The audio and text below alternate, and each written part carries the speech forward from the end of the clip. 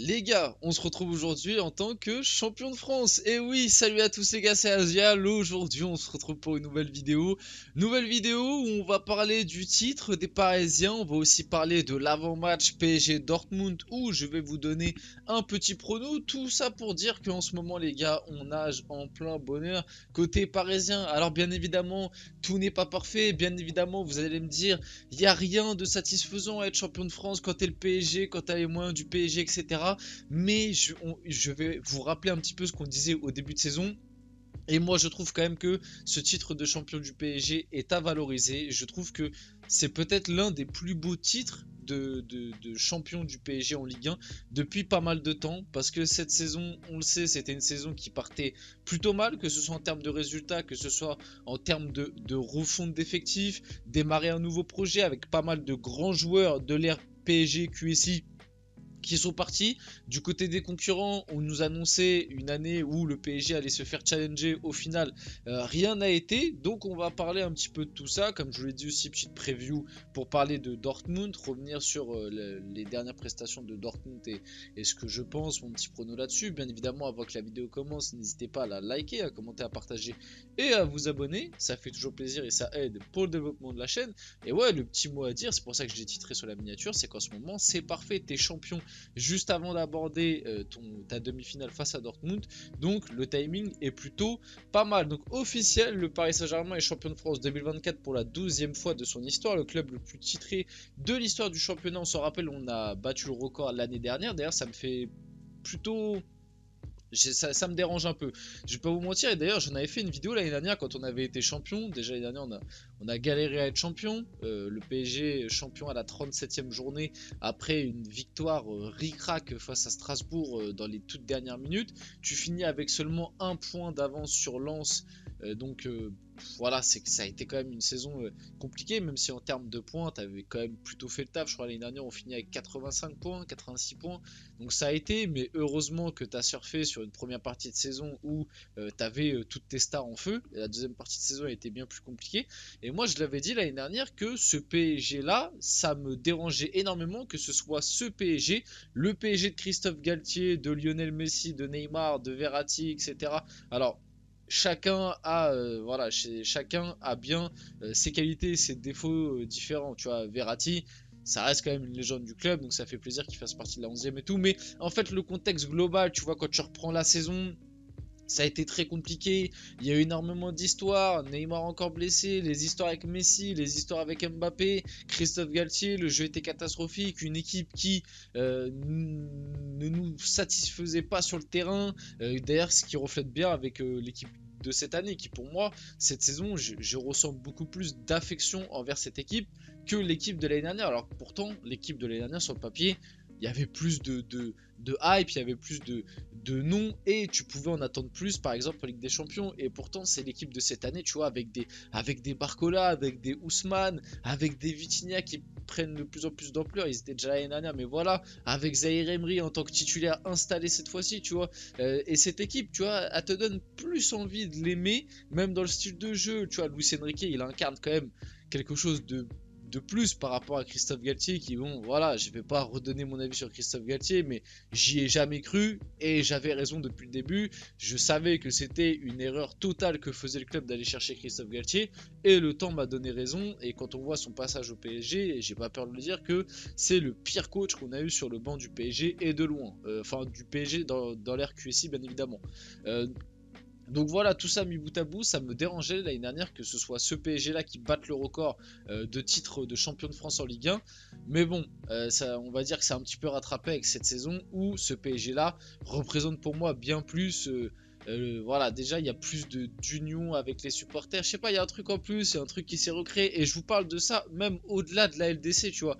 Même si on s'était fait éliminer par le Barça, globalement cette équipe je l'aime beaucoup. Alors bon, il y a toujours le dossier Mbappé qui, euh, en début de saison, ça a été compliqué, ça s'est un petit peu traîné. Le moment où il a annoncé, euh, enfin, où on nous a annoncé qu'il allait partir. Voilà, bon, ça c'est un dossier euh, différent, mais globalement, sinon, le reste des joueurs de cette équipe, on les aime beaucoup. Tu vois, Hakimi, on l'aime beaucoup. Un Donnarumma en Ligue 1, il a fait le boulot en Ligue des Champions, c'est différent, mais voilà. Vitinha, Zaire Emery, Ugarte qui a eu sa période en début de saison où il était impressionnant. Tu vois, chacun a eu sa petite période. Barcola qui pendant un moment il pétait le feu. Voilà, donc globalement, euh, ça fait plaisir pour moi, ce, titre est mérité. Et comme j'ai dit, c'est l'un des, peut-être des plus beaux titres parce que tu as allié quand même façon de jouer, tu as allié aussi euh, énormément de rotation, énormément de joueurs qui ont joué sous le mode du PSG, euh, l'incorporation de certains Titi, Mayoulou, Zagué, etc. etc. Donc euh, tout ça, ça, fait plaisir. Et en plus, finalement, le bilan de la saison, on n'en parle pas beaucoup, mais je trouve que c'est un bilan quand même plutôt carré. 20 hein. victoires, 10 matchs nuls, c'est peut-être un peu beaucoup, 10 matchs nuls, mais au moins tu perds pas beaucoup et tu as seulement une défaite. Et je le répète, la défaite c'était en tout début de saison face à Nice, c'était euh, au mois de septembre si je me trompe pas. Euh, et c'était une défaite où on perd 3-2, et en plus le match normalement on doit pas le perdre. Mais, voilà, sinon ce PSG là a quand même été solide en Ligue 1 cette saison, et moi c'est ce que j'avais demandé lors de l'arrivée de Lucien Riquet, c'était de retrouver un PSG souverain sur le territoire français, c'est-à-dire en Ligue 1 et en Coupe de France. Et pour l'instant, le contrat est totalement rempli, tu vois. Et en plus de ça, il y a le parcours en Ligue des Champions qui fait plaisir. Donc le PSG peut désormais se concentrer sur la Ligue des Champions et sa finale de Coupe de France. Euh, du coup, champion de Ligue 1, voici un petit peu les derniers palmarès. Bon, ça en vrai, je pense que vous les connaissez à à peu près tous. Hein. Donc le PSG qui reste sur trois titres d'affilée, Lille, etc. Il y a eu Monaco en 2017.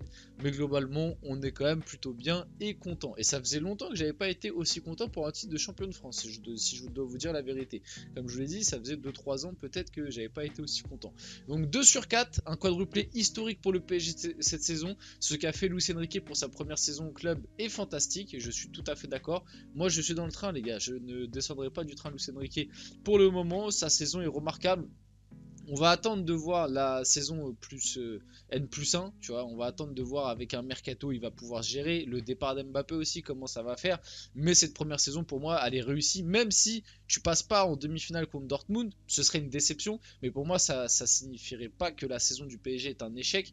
Et la Coupe de France, par contre, pour moi, faut que tu ailles la prendre. Euh, la Coupe de France, faut que tu ailles la prendre absolument. Mais voilà, sinon, globalement, le contrat est quand même très très bien rempli par Luis Enrique. Avant son match face au PSG en Champions League, Dortmund chute à Leipzig sur le score de 4-1. Le BVB voit, ses chances se réduire pour la qualification en C1 en passant par le championnat. Les Allemands seront motivés ce mercredi à domicile face à Paris. Parce que oui, euh, du coup, Dortmund est actuellement 5ème de Bundesliga. Ça va pas fort pour eux en championnat. Même si en Ligue des Champions, ils ont quand même fait le taf. Hein. Je tiens à le rappeler que cette équipe a quand même fini première de sa poule devant nous, justement le, PSG. Et que chez eux, c'est pas été un match évident. C'est un match qu'on aurait dû gagner pour moi. Hein. Me rappelle très bien du match, on fait un partout.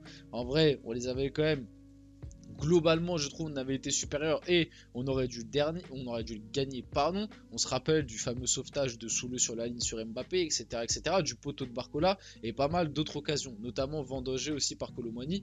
On s'en rappelle parce que Ousmane Dembélé était suspendu aussi, faut, faut, pas l'oublier. Et c'est quand même un élément très important du PSG de cette année. Mais chez nous, je m'en rappelle, on leur avait mis 2-0 et ça pouvait faire bien plus. Il n'avait pas existé.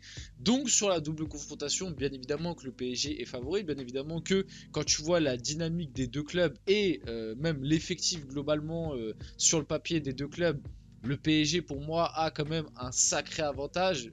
Et si je dois euh, être honnête et essayer d'être full objectif sans non plus trop tomber dans le supporterisme et trop dénigrer Dortmund parce que ils sont en demi-finale de Ligue des Champions, c'est que c'est pas pour rien non plus, les gars. Ils ont quand même fait leur petit parcours, ils ont éliminé l'Atlético. Bon, ils ont éliminé le PSV en 8ème, qui était peut-être pas un gros adversaire, mais le PSG a éliminé la Real Sociedad. Donc, on va dire que c'est à peu près similaire. Malgré tout, je pense que le PSG, c'est un bon 60-40. Euh, la qualif du PSG pour cette finale. Euh, donc euh, le PSG pour moi est quand même favori. En plus, du côté de Dortmund, si je me trompe pas, il y a euh, Hummels qui était l'un des meilleurs joueurs cette saison à Dortmund qui s'est blessé lors du dernier match face à Leipzig. Euh, donc voilà, la confiance n'est pas ouf. Dortmund 5ème, il risque de peut-être pas faire la, la Ligue des Champions l'année prochaine, à part si peut-être la Bundes arrive à récupérer la cinquième place qualificative en Ligue des Champions, parce qu'on sait que les deux plus gros coefficients récupéreront la, cinquième place qualificative.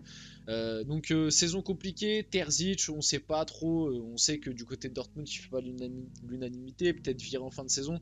Bref, tout ça, il, y a aussi pardon, Sébastien Haller qui loupera la double confrontation face à Paris.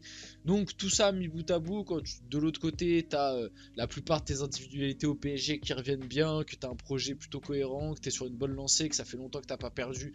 globalement, bon, il y, a la défaite contre le Barça à domicile, mais après tu te qualifies, donc ça rattrape un peu. Je pense que le PSG a quand même les armes pour aller se qualifier. Et pour finir la vidéo, Sergio Rico effectue ce jeudi des tests athlétiques au campus PSG afin d'évaluer son état de forme. Près d'un an après son grave accident en cheval, le gardien espagnol n'a jamais été aussi proche d'un retour dans le groupe du PSG. Super nouvelle, et ça, on peut le dire. On va finir la vidéo là-dessus. J'espère que cette vidéo vous a plu. Si c'est le cas, n'hésitez pas à la liker, à commenter, à partager et à vous abonner, les gars. C'était Asial, on se retrouve très rapidement pour une prochaine vidéo.